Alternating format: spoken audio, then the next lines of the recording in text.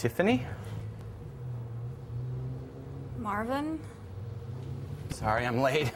Sorry I made you come all this way. It serves me right, living so far across town. Yeah, us carless people, we always make everyone else come to us.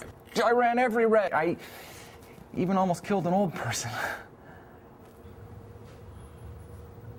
I hit a dog with my bike last week. I, sometimes I throw my cat in the hammock just to watch his little paws, because they go through the. scares them to death. My cat smells. My feet smell. My breath smells. Sinuses. If I eat wheat, I fart for days.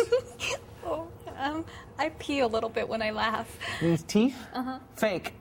Sometimes they come loose.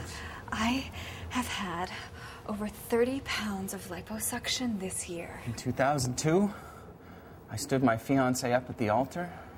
I haven't called her since. I. I put my ex's cell phone up my butt, and then I gave it back to him.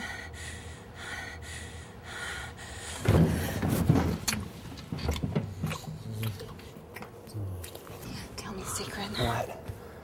Something you've never told anyone.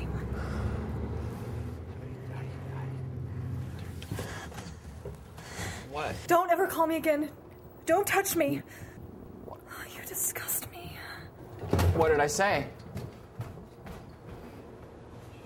Yeah, he was sexy. But he doesn't vote.